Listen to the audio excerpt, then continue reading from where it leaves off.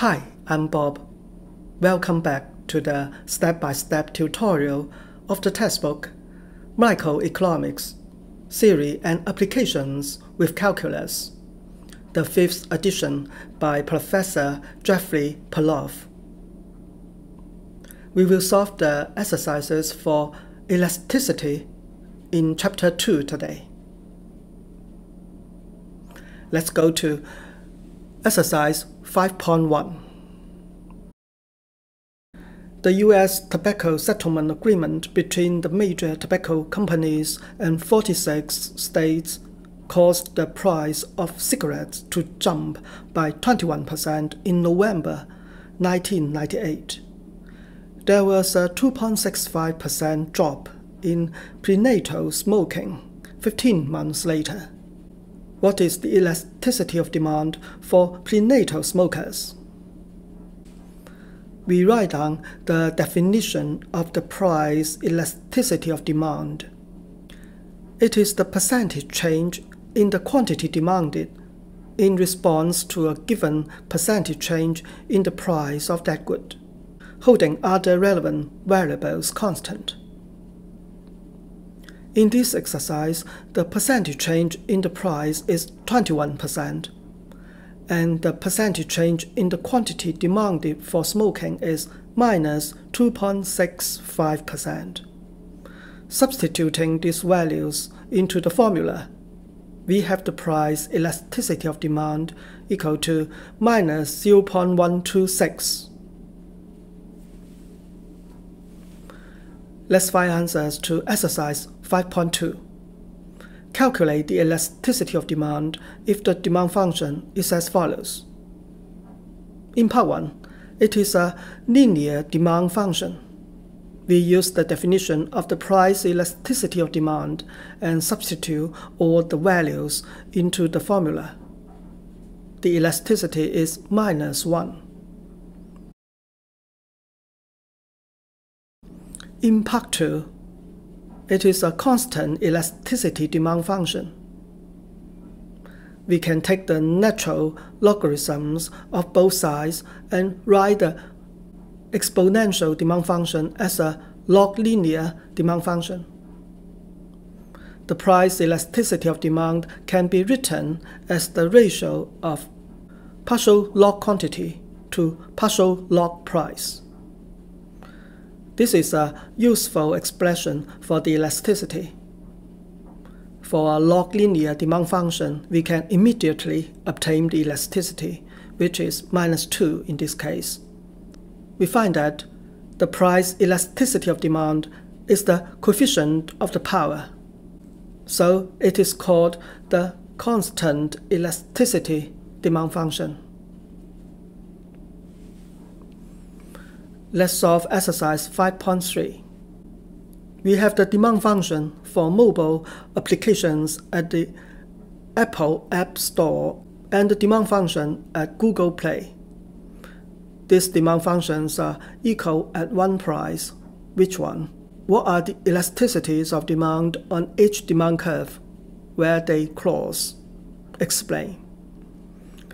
In the first step, we can answer the last question without calculation we see that the demand functions are constant elasticity demand functions.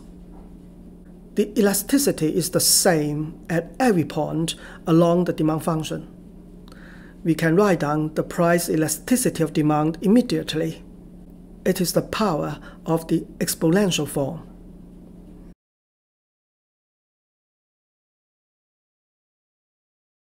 The price elasticity of demand for Apple apps is minus 2, and that for Google apps is minus 3.7.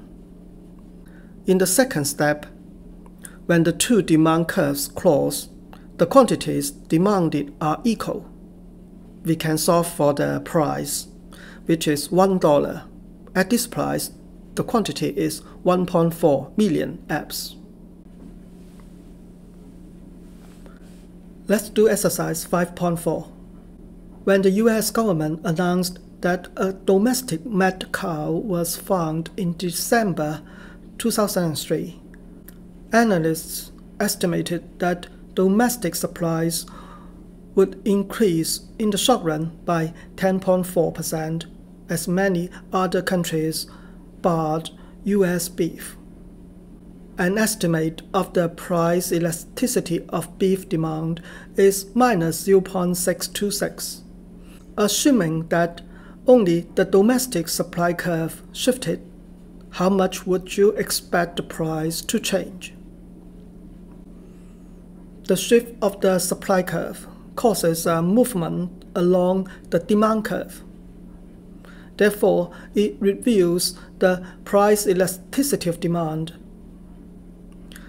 We have the value of the elasticity and the approximate percentage change in quantity demanded. Substituting the values into the formula of the price elasticity of demand, we have the percentage change in price, minus 16.6%. Notice that if both supply and demand curves shifted, the equilibrium price and quantity changes resulted from the interaction of both curves. Let's see exercise 5.5. Immigration to the United States increased the labor supply of working men by 11.0% from 1980 to 2000 and reduced the wage of the average native worker by 3.2%. Can we make any inferences about the elasticity of supply or demand? Which curve changed and why. Draw a supply and demand diagram and label the axes to illustrate what happened. Immigration is a supply shock and shifts the labor supply curve to the right. If we assume that the labor demand curve is fixed during the time studied, then the shift of the labor supply curve reveals the elasticity of demand, as shown in the left graph. The demand elasticity is negative and should be less than 3.4 in absolute value. However, if the labor demand curve also shifts during that time, as shown in the right graph, the demand elasticity is even smaller in absolute value we cannot make any inferences about the elasticity of supply in this case. Let's solve exercise 5.6. The U.S. tobacco settlement between major tobacco companies and 46 states caused the price of cigarettes to jump by 21%, and the overall per capita cigarette consumption to fall by 8.3%. What is the elasticity of demand for cigarettes? Is cigarette demand elastic or inelastic? We first write down the definition of the price elasticity of demand, epsilon. We know the percentage change in the quantity demanded and the percentage change in the price we can calculate the epsilon, which is minus 0.395. It is less than 1 in absolute value, so the cigarette demand is price inelastic.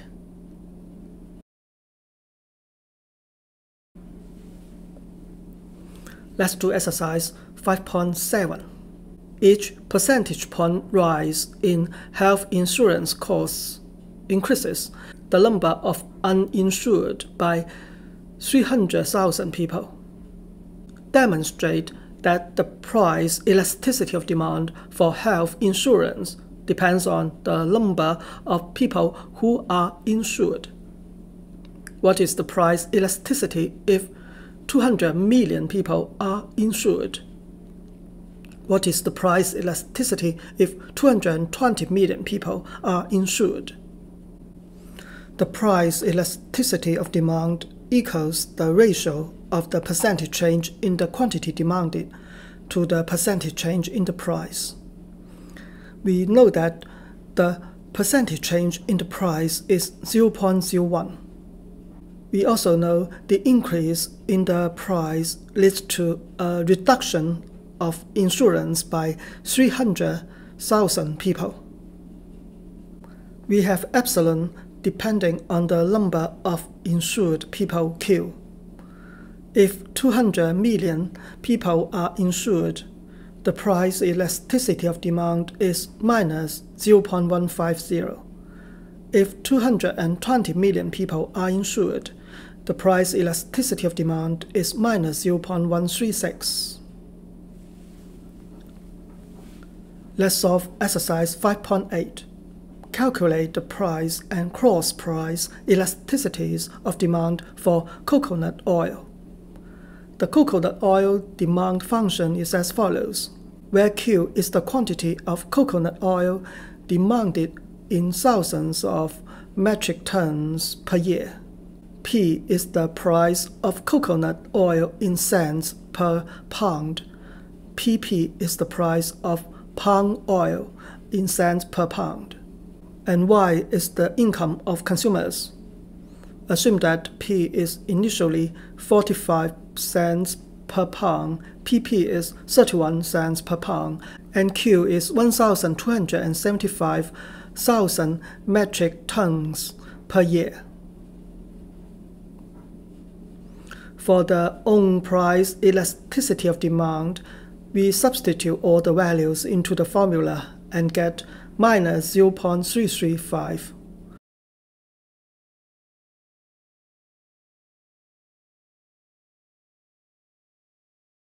For the cross price elasticity of demand, we have the answer of 0.394.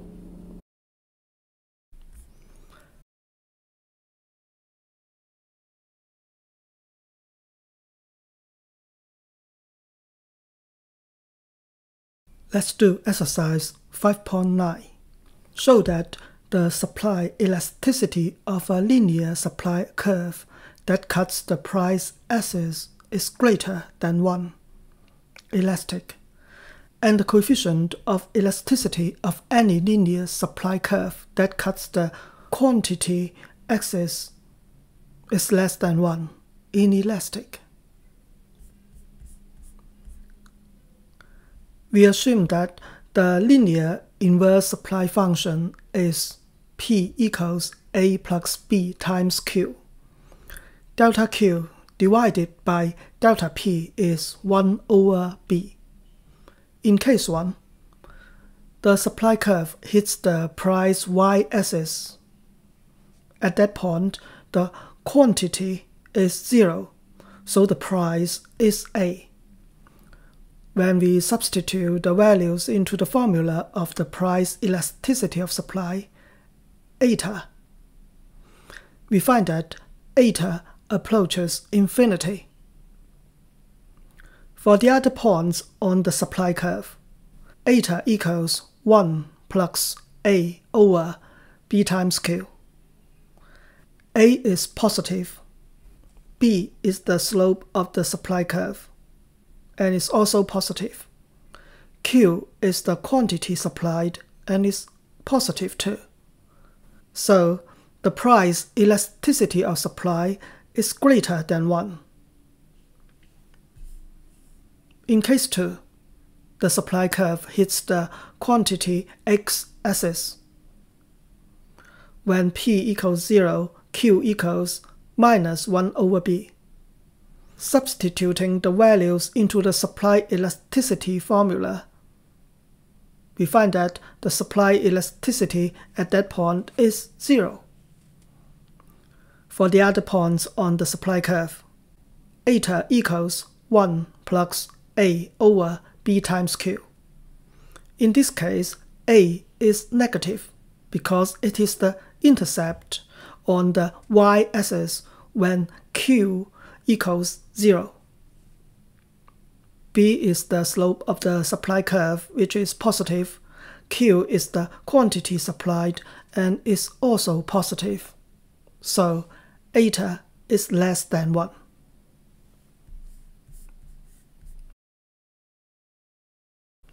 Let's solve exercise 5.10. Solved problem 2.5 claims that the war in the Persian Gulf could shift the world oil supply curve to the left by 24 million barrels a day, causing the world price of oil to soar regardless of whether we drill in the Arctic National Wildlife Refuge. How accurate is this claim? Use the same type of analysis as in the solved problem to calculate how much such a shock would cause the price to rise with and without the refuge production. From the solved problem, we know that the demand function is as follows. The supply functions with and without the refuge production are as follows.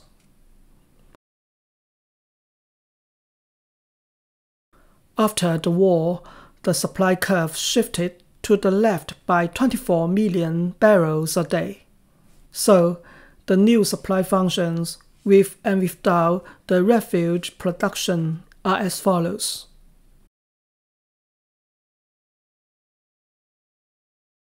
Using the demand function and the new supply functions, we obtain the new equilibrium prices and quantities with and without the refuge production. At the market equilibrium, the quantity demanded equals the quantity supplied. Without the refuge production, we calculate the equilibrium price and quantity. With the refuge production, we'll calculate the equilibrium price and quantity. We can draw a graph to show the equilibrium. The equilibrium price was around $103 after the war. It is a substantial increase compared to $70, the equilibrium price before the war. The difference between the prices with and without the refuge production is tiny. Thank you very much for solving the problems with me. See you soon in the next part of Chapter 2. Goodbye. Thank you for watching this video and subscribing to my YouTube channel. See you next time.